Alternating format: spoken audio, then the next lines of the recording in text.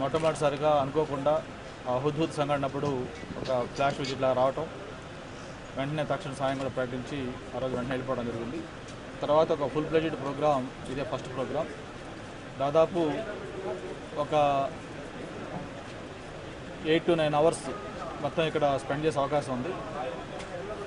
రెండు important events ఒకటి ఏదైతే మన దేశంలోనే ఒక ప్రిషియస్ స్టీల్ ప్లాంట్ ఉందో దాని ఎక్స్పాన్షన్ సంబంధించి dedication to the nation.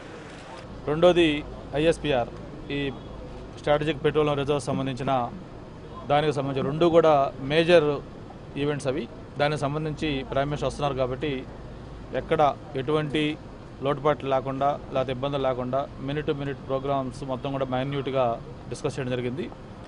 America ప్రభుత్వం చేత కూడా ఒక స్మార్ట్ సిటీగా డిక్లేర్ కాబడ్డ సిటీ వైజాగ్ కాబట్టి వైజాగ్ అంటే ఈరోజు అంతర్జాతీయంగా కూడా గుర్తింపు వచ్చింది. వాటన్నిటి సంబంధించి కూడా ఒక అనౌన్స్మెంట్ కూడా పిఎం వేదిక ద్వారా వస్తుందని చెప్పి ఆశిస్తా ఉన్నాం. కాబట్టి అందరం కూడా చాలా ఈగర్గా ఎప్పుడు ఎప్పుడు కూడా ప్రోగ్రామ్ వస్తుందని ఎదురు చూస్తూ ఉన్నాం.